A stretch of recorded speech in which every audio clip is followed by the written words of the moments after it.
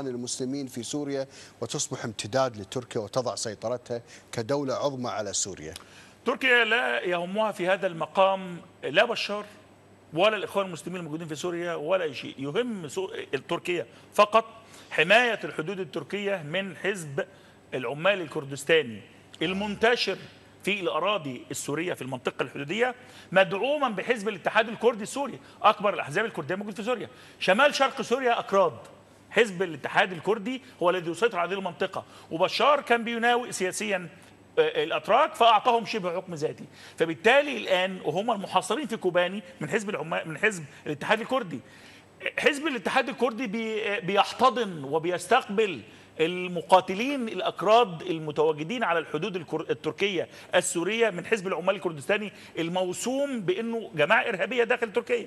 فبالتالي تركيا بتحاول أن تستبق استراتيجيا وتحاول أن تحمي حدودها من الخارج إسقاط بشار الأسد الذي يعطي حكما ذاتيا للأكراد في حزب العمال الكردستاني ربما يكون هو السبب الرئيسي في مناوئة بشار الأسد.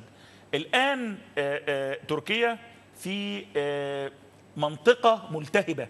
الآن تركيا بتعاني من الخارج ومن الداخل، لا تنسى إنه حزب العمال الكردستاني واتفاق السلام الهش الذي تم إسقاطه بعد موقعة كوباني والتخاذل التركي في كوباني عبد الله أوجلان من داخل محبسه قال الآن سقطت ورقة السلام الهشة والضعيفة بيننا وبين الإدارة في أنقرة. لذلك بتجد أن تركيا من الداخل من داخل لديها مغص سياسي من الداخل اللي هو حزب العمال الكردستاني الذي يمثل سبع محافظات أناضولية. صح. هؤلاء يمثل 15 مليون تركي كردي. أنت أمام أزمة. أيضا تركيا بتخشى من المد الموجود الكردي داخل سوريا. أيضا من حزب العمال من كردستان العراق التي قاربت أن تكون دولة. وكأنها شبه دولة. آه، دولة الآن بيتحدث عن آه، آه، مباحثات بين أربيل وبغداد على حرية وسرعة الدخول والخروج للمواطنين. أنت أمام دولتين.